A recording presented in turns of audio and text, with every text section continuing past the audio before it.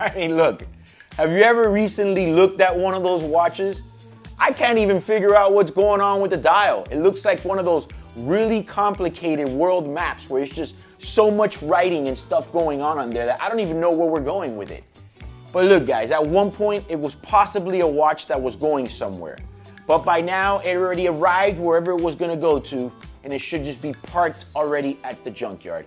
If any of you guys have this watch at home, look, I don't mean to offend you, but it just looks bad already. Like nowadays, it's just one of those pieces that it's just kind of like, why? Just sell it, move it, go on to something else. You know, at this point, it's very big, it's very outdated. So, what it says about you, it says you need to change that watch.